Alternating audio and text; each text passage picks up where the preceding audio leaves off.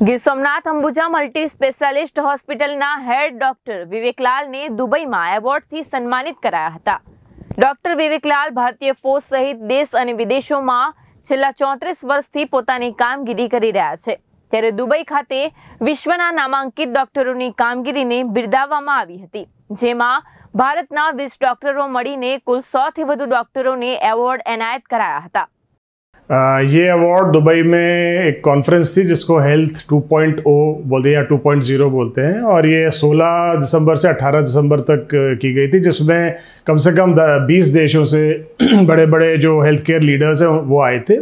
और ये अवार्ड जो है, ये outstanding leadership in health care का अवार्ड है, जो मेरे को दिया गया है। मेरे करीब जो 33 इयर्स का जो एक्सपीरियंस है, तैंतीस साल का जो एक्सपीरियंस है हेल्थ केयर में उसके ऊपर दिया गया है। ये इंडिया का भी और इंडिया के बाहर। जो इंडिया के बाहर भी मैं करीब छः साल रहा हूँ तो वो एक्सपीरियंस भी इसमें काउंट हुआ है। इंडिया में तो जैसे अभी मैं यहाँ हूँ अम्बाजनगर हॉस्पिटल में हूँ। और इससे पहले मैं एक आमरी हॉस्पिटल है, जो कि भुवनेश्वर में है, उसका भी मैं वाइस प्रेसिडेंट और हेड था। और उसके अलावा जो मेरा आर्मी का जो एक्सपीरियंस है, दस, करीब दस साल जो लीडरशिप पोजीशंस में था मिलिट्री हॉस्पिटल्स में, उसको भी इस पर काउंट किया गया।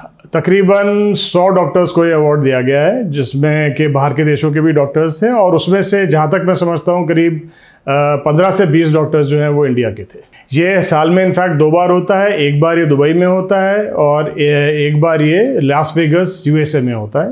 और पर्पज़ होता है कि कई कैटेगरीज होती हैं हेल्थ केयर लीडरशिप की, जिसमें कि आपका एडमिनिस्ट्रेटिव प्रोफाइल्स भी होती हैं और विजनरी अवार्ड भी होता है और ऑन्ट्रप्रनर्स का भी अवार्ड होता है। जैसे मान लीजिए, आपने कोई कंपनी शुरू करी है और आपने बहुत अच्छा किया है, उनके लिए भी है। विजनरीज यानी कि जो जो एक लॉन्ग टर्म विजन देते हैं हेल्थ केयर को। तो उनको भी अवार्ड मिलता है। ऐसे करके दो तीन कैटेगरीज हैं जिनमें ये अवार्ड मिलते हैं। वो हमें खुद ढूंढते हैं। हमारी जो, जैसे मेरे केस में मेरा जो लिंकड प्रोफ़ाइल था, उसके बेसिस के ऊपर उन्होंने मेरा सिलेक्शन किया था और उन्होंने कुछ एक क्वेश्चन भी मेरे को दिया था, जिसमें मैंने अपने अचीवमेंट्स को लिखकर उन्हें भेजा था और उनकी एक सिलेक्शन पैनल होती है, उसको स्क्रूटनाइज करके आपको finally select Mahesh Dodiya R for news Gir Somnath.